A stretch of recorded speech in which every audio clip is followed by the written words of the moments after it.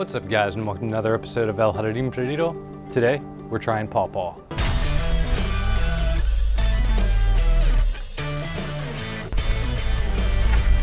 All right, so I've been trying to grow pawpaw for about three years now. I don't recall the exact name of the cultivar, but I they were labeled American, I believe, and uh, I got two different kinds from two different growers.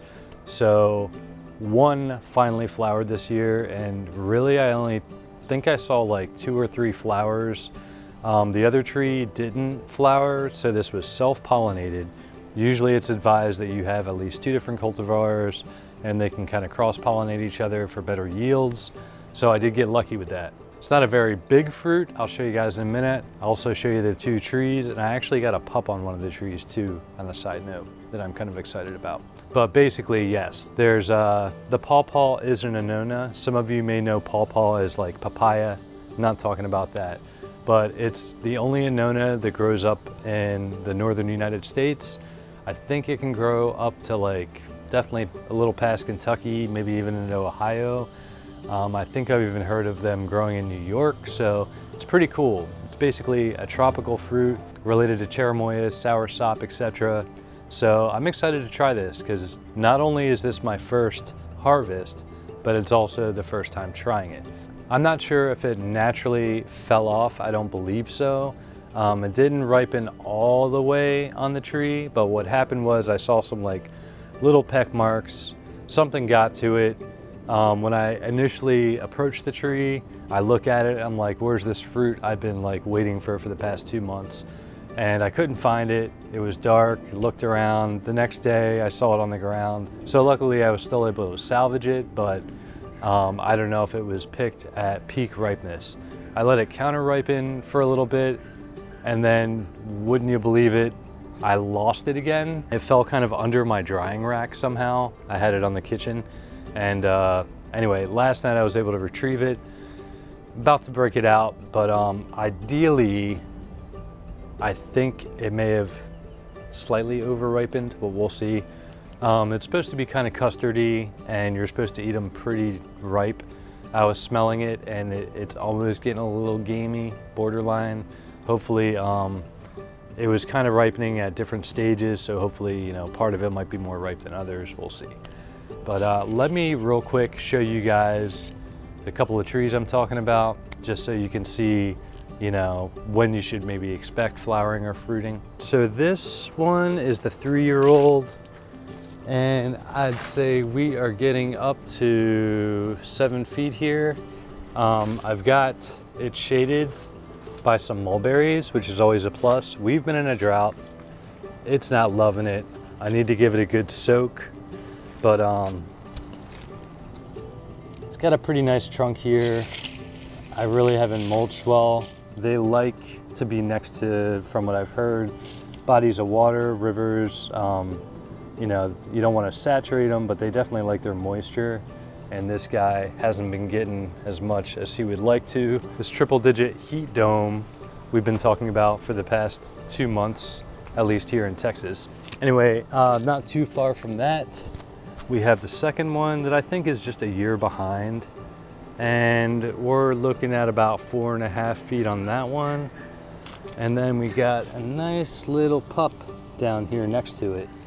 Um, the thing is these two probably won't cross-pollinate very well because basically that's the mother, same genetics.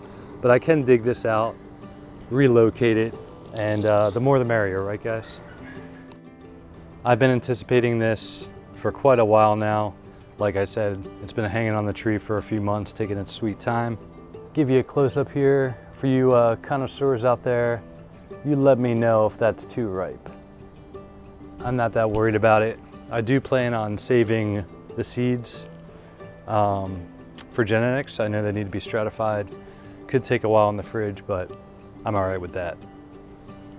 So in smelling it, it started smelling pretty pungent the other day. Um, tropical notes, kind of like mango, pineapple, which is awesome.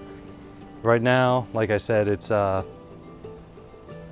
it's it's got a tinge of you know um, if you've ever had a fruit juice and it starts turning a little bit, you know, maybe a your grape juice is turning into a wine there. got a little fermentation, slight, slight, slight, slight. But uh, so it's probably a little overripe, but we'll see. And it does um, variate, you know, right here where it looked like it got torn off, that's gonna be a little more ripe. And then um, this side doesn't look as ripe, so we can do a comparison. Already I can feel a lot of seeds and I'm trying to cut around them to not damage them. So I'm just kind of working my way around the seeds. Probably won't look all that pretty, but that's all right. All right, we get the gist. I probably should have brought a spoon too, but maybe I'll do that. On first inspection, um, it's not bad, and that's pretty awesome. Hang on. I got a spoon. But all right, guys, let me bring you in. I don't want to drop any. But I want to show you the color. The camera doesn't always pick up the cover color, but it's a nice dark orange. Ah, smells really great getting in there. Tropical notes, a lot of mango I'm getting. so let's dig in. I'm going to check out the side that's a little more ripe first. Wow. So um, the texture is a lot like soursop, custardy. I think I went a little too ripe there. I know for next time. I'm gonna go closer to the seeds on this other side where it's not as dark.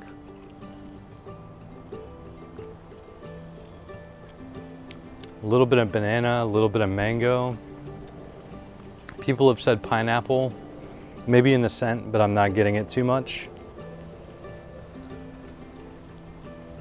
I'm, I'm feeling that soursop a little bit, not only with the texture, but uh, the taste. So when I talked about um, this part being overripe, you get all that, it's all good. But it does have a slight aftertaste.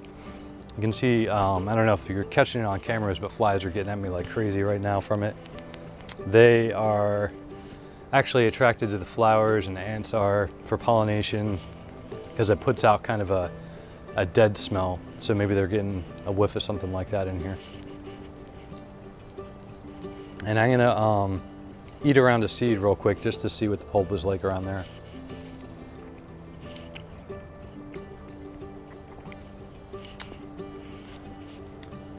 Yeah, so all in all, pretty awesome. I'm just gonna show you guys again. Usually the first year's fruit, and especially the first fruit, it's gonna be small. There's not a lot of flesh there. It's pretty seedy. The seeds are easy enough to eat around that it's not a big deal. Um, you know, if it were up to me, I'm not gonna go nuts on camera and I know my kids wanna try this just off camera. But uh, it's easy enough to scoop, you know, spit out seeds, whatever. But uh, yeah, this is pretty awesome. Based on how it was harvested and all, this is probably a little late, although still good. But I would recommend just making sure it gives a little, try not to squish it all the time because the reasons why these aren't commercially available is because they bruise very easily, um, they don't keep long, so they wouldn't be very good for shipping. So yeah, I'd look for some slight browning, kind of like when a banana is going ripe.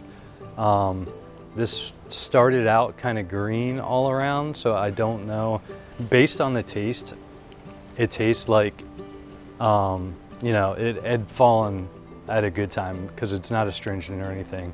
If it were super early, it probably wouldn't ripen properly, probably be really hard. But I will say that off the tree, it ripened, this is about four days from green to this. So got to keep an eye on it, got to check them quick. Again, another reason why they don't ship well. And even if they are green, be very careful when checking for the ripeness based on, you know, how firm it is because they're gonna bruise pretty easily. Well, all right, guys, I just wanted to share that moment with you. I apologize, I haven't been very active on any of my social media. I made a video regarding this. I guess I can point to that somewhere, but um, neighbor problems. I'm uh, working on Well, right now I'm just trying to like keep afloat because it's a health issue and I've been working with the health department very closely and um, trying to at least literally come up for air. Um, just a brief synopsis if you don't want to check out the video. My neighbor has been basically fumigating us with smoke for the past going on nine months now. Almost every single night, through every weekend. My garden's very unkempt. Some of that's because of the heat wave. I'm letting everything flourish. I'm not pruning. I'm even letting my grass grow to retain um, a little bit more moisture and stuff. We're in a drought. It's been a heat wave and I've got this. So usually I roll camera um, around golden hour and he typically home smoking all the time. So I found a window. I really wanted to try this pawpaw, try it on camera with you guys walk you through a little bit, you know, how it grows, stuff like that. But yes, I've been a little out of things. Um, I do want to try to be a little more consistent, but it's been a health risk and a health issue, and my videos are done outdoors, even though even indoors hasn't been safe. I've been uh, just evacuating with my kids and trying to make the best of it, going to the beach, going out, doing this and that. So. It does make me wonder if I should take this operation to another location, which might happen, but uh, I'll keep you guys posted on that, and I'll try to be a little more consistent with content. All right, so back to the subject of pawpaws. Um, I'm in some gardening groups. If any of my viewers know more than I do, you have any information you'd like to share with everyone else, be sure and put those in the comments below. And you know what, I'm always learning. I'm fairly new to uh, this particular fruit. Not a lot of people talk about them. And uh, it's odd because they grow pretty high up. I think in 9A here, I'm pushing the zone for them a little bit. There's a native pawpaw that I haven't gotten my hands on that's more bushy that I'd like to. If anyone watching has or knows of these or knows of a nursery, put it in the comments so I can get me some. But yes, it's odd that um, there's not more info on pawpaws other than the fact that it's not commercially available. But um, a lot more people should be growing them. The only downside I would say is especially from seed, um, they definitely take their sweet time. Got mine from a nursery about four and a half feet tall and it still took three years into the ground. They're not domesticated, so they're pretty finicky. They're not easy to graft. They're not easy to clone. The only thing um, is their little pups that's a little, that's one of the easiest ways to propagate them. All right, well that's gonna wrap it up. I meant to keep this short and sweet and I really just wanted to share that moment with you guys and enjoy it myself on camera with you all. If you enjoyed this, consider subscribing. I do want to kind of start hitting the ground running a little harder on my YouTube channel. So likes, shares, comments, that all helps the algorithm and I really um, want to gain a little more momentum. All right, well that's gonna do it for today's video. As always, thanks for tuning in. Until next time.